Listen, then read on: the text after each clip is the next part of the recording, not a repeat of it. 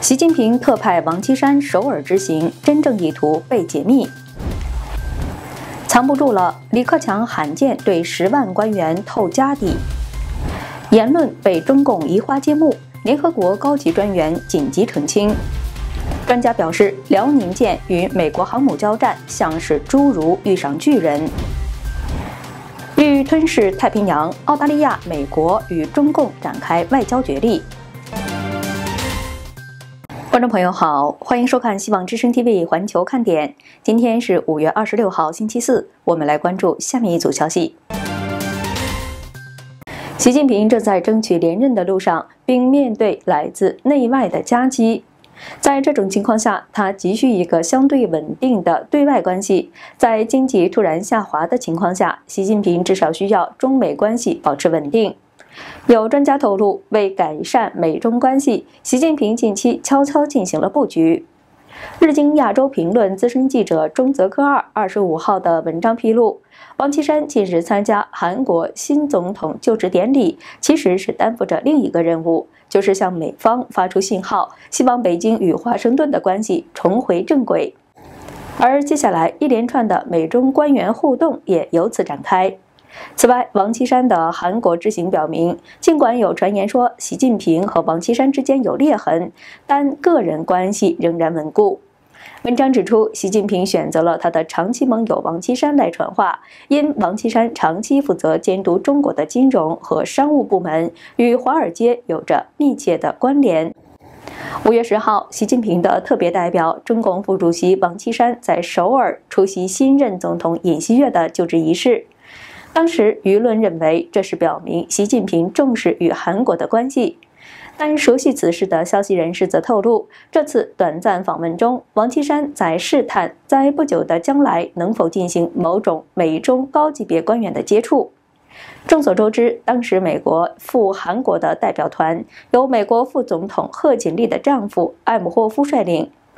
中泽克尔指出，这是一个恰当的时刻。首尔的节日气氛和城市的喧嚣，使王岐山可以在不引起注意的情况下行动。同时，主席特别代表这一罕见的头衔，也给了王岐山额外的影响力。这是中共最高外交官杨洁篪和外交部长王毅等前国务委员永远无法胜任的角色。九天之后，白宫国家安全顾问沙利文五月十九号突然无预兆地暗示，拜登与习近平可能在不远的将来进行交谈，也从侧面证实，在此之前，美中高层之间沟通顺利。他分析，在政治风向变强时，习近平求助的是王岐山；在经济突然下滑的情况下，习近平至少需要中美关系保持稳定。但如果美中在线峰会很快的举行，习近平会对拜登说些什么呢？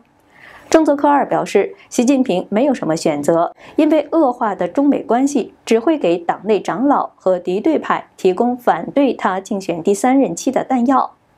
清零政策和打压私营公司的经济政策使中国的经济雪上加霜，这也让习近平现在不能对美国采取强硬的态度。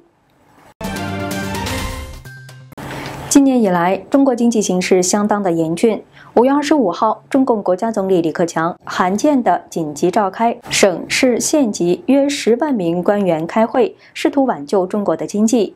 他在会上对地方政府自报家底，说已有多个省份要求批准紧急发债，以渡过难关。但中央已经没有多余的钱了，只剩下一笔救急费用。他说：“所以我这里也给大家报个账底，除非再有特大的自然灾害，还有一笔总预备费，其他的钱就靠你们地方自己了。”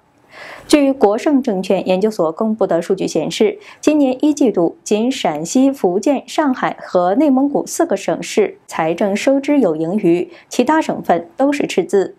其中，广东新增地方债发行规模最大，达到了一千七百二十七亿元；其次是山东，发行一千两百六十三亿元；河南、浙江、四川三个省新增地方债发行规模在一千亿到一千两百亿元。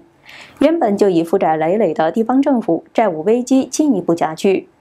时评人士唐静远形容，心脏循环不行了，首先反映出的就是肢体末端的缺血坏死，也就是地方经济濒临崩溃。现在中国就处于这个困境之中。另一时评人士秦鹏分析，这个全国会议是为了不被扭曲的从上到下传达高层的决定，希望全面调动各种资源，不走样的尽快改变现在的经济政策。他表示，中国经济危机严重的程度应该远超官方公布的数据。联合国人权事务高级专员巴切莱特在中国大陆访问风波不断，除了出访结果受到广泛质疑之外，又传出他的言论被中共官媒移花接木、断章取义了。巴切莱特的办公室二十五号澄清，他在访问中国期间的有关讲话被中共官媒错误引用或错误形容。比如，他确实赞扬了中国在消除贫困方面取得的一些成就，但中共央视却说成他钦佩中方在消除贫困、保护人权、实现经济社会发展等方面所做努力和取得的成就。他说，中国在多边机构中可以发挥关键作用。央视报道说成他赞扬中共在维护多边主义方面发挥的重要作用。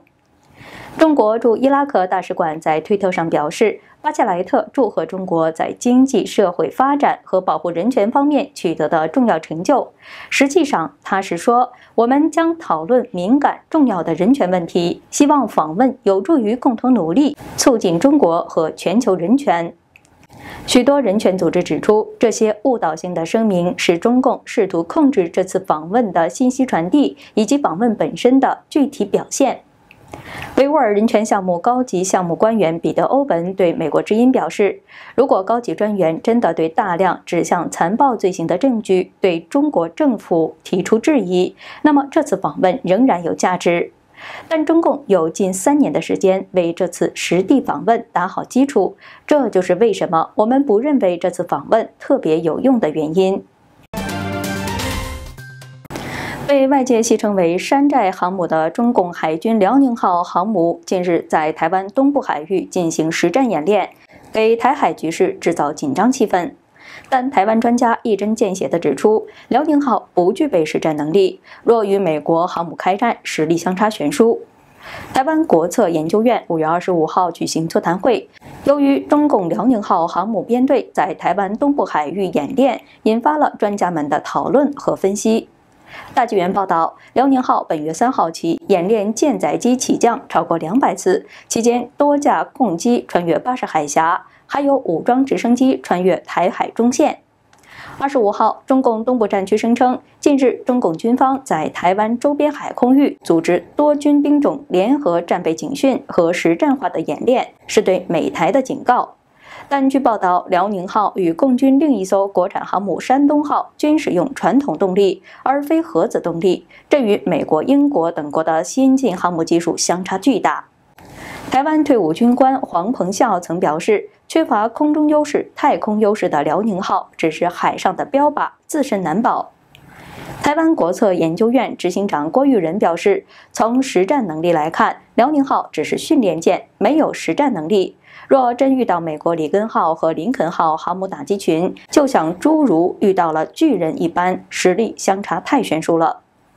国防大学中共军事研究所所长马振坤指出，共军若要对台发动军事行动，必须先具备对美国的反介入作战能力，包括平时贺阻、冲突遏制、作战打击。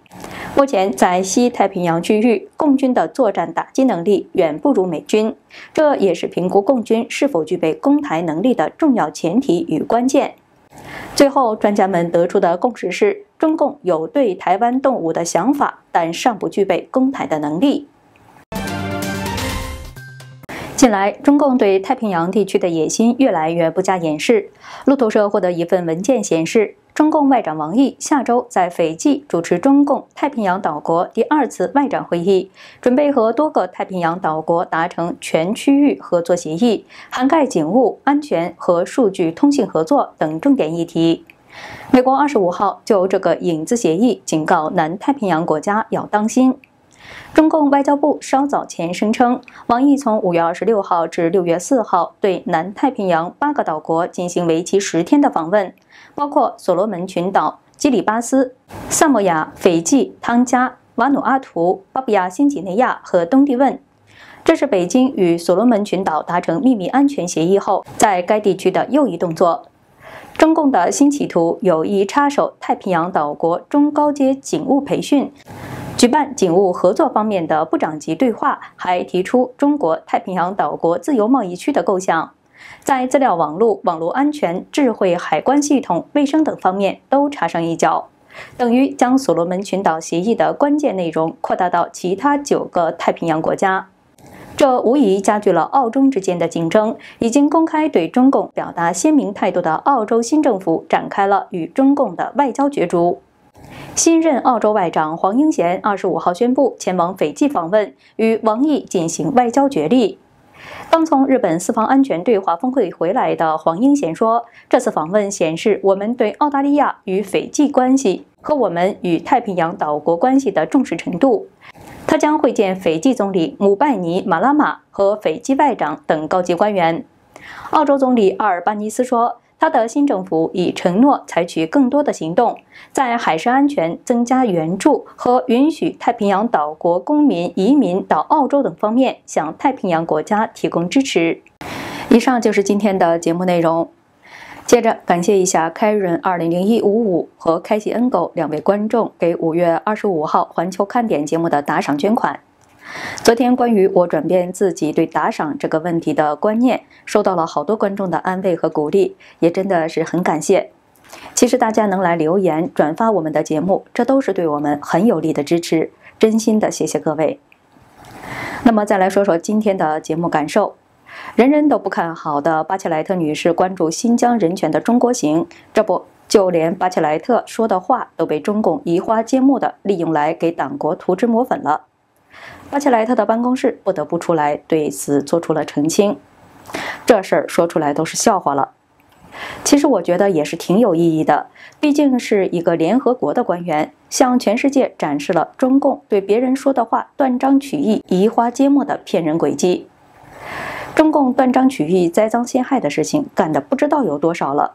但是很多人都觉得，人家可是政府，那么大国家的政府，怎么可能干出这种断章取义、诬陷你这种下作上不了台面的事情呢？都是你这小小刁民在这里胡说八道。如今看见了吧？就连联合国的官员讲的话都能这样的移花接木，那么有多少曾经被冤枉的人也应该洗刷冤屈了吧？您知道哪些中共断章取义、诬陷好人的事情吗？也请您来说一说。对于今天的话题，您有什么想法吗？也欢迎一起来说一说。我们下期见。